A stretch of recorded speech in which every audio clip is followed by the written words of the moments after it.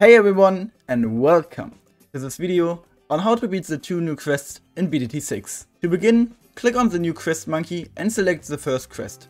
This quest is all about beating Bikers waste time and I have an easy strategy to ace it. The strategy involves starting with a tack shooter and standing 117.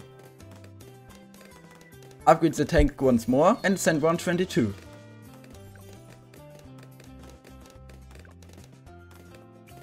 Place down a druid and upgrade him to 130 and send 127. Then place down another 130 druid and send 135.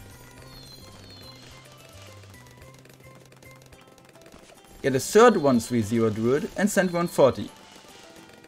Get a 032 bomb for the Moab and use the Ten's ability for the camos.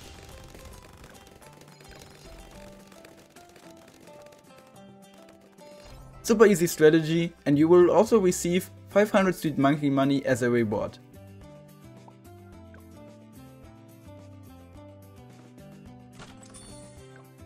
Moving on to the next quest, this one is about showcasing our all-time favorite hero, Quincy. The tutorial monkey will guide you through the basic, and once you are done, you can place more towers like a Dragon's Breath. Once you complete the quest, don't forget to collect your rewards. If you enjoyed this video, Make sure to use creator code for FynnEbsen in the BTD6 item shop and also leave a like and subscribe for more awesome content on the new update.